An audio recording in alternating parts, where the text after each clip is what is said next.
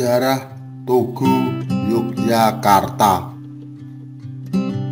Tugu Yogyakarta merupakan simbolik kota Yogyakarta. Sebagai ciri khas kota Yogyakarta Bangunan ini mempunyai sejarah yang panjang dan menarik. Tugu ini merupakan sebuah bangunan monumen bersejarah yang terletak tepat di tengah perempatan antara Jalan Pangeran Mangkubumi, Jalan Jenderal Sudirman, Jalan AM Sangaji, serta Jalan Diponegoro dan sudah berusia hampir tiga abad. Selain sebagai simbol dari kota Yogyakarta, Tugu ini juga mempunyai satu poros imajiner antara Laut Selatan, Keraton Yogyakarta, dan Gunung Merapi. Menurut sejarah, Tugu Yogyakarta dibangun oleh Sri Sultan Hamengkubuwono I pada tahun 1755. Pada awalnya, tugu ini berbentuk golong gilik yang mempunyai tinggi mencapai 25 meter di mana tiang dari tugu ini berbentuk gilik atau silinder dan puncaknya berbentuk golong atau bulat. Sehingga pada masa itu, tugu ini disebut dengan nama Tugu Golong Gilik. Pada awal dibangunnya tugu ini mempunyai makna Manunggaling Kawulo Gusti yang menggambarkan semangat persatuan antara rakyat dan penguasa dalam melawan penjajah.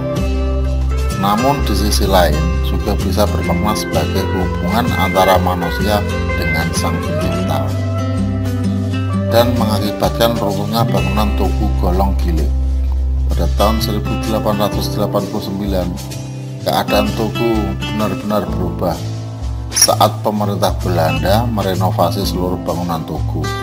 Kala itu Tugu dibuat dengan bentuk persegi dengan tiap sisi dihiasi semacam prasasti yang menunjukkan siapa saja yang terlibat dalam renovasi itu.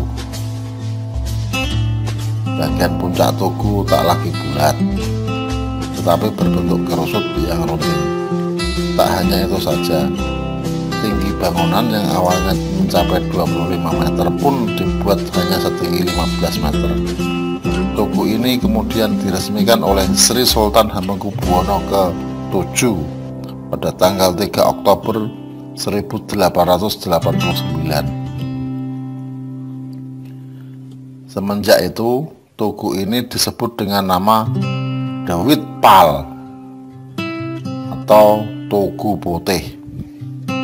Pada area sekitar Tugu Jogja saat ini dibuat taman cantik yang banyak digunakan untuk berfoto oleh pengunjung. Sedangkan sebelah selatan merupakan kawasan Malioboro yang merupakan tempat wisata belanja di Jogja. Sekian dulu cerita sejarah Tugu Yogyakarta atau Tugu Putih yang menjadi maskot Yogyakarta. Lain waktu saya akan bercerita lagi tentang sejarah bangunan di seluruh Indonesia dan seluruh dunia. Oke,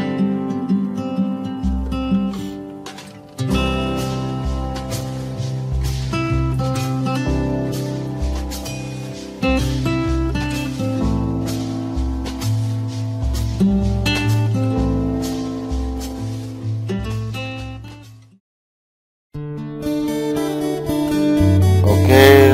kasih buat kawan-kawan.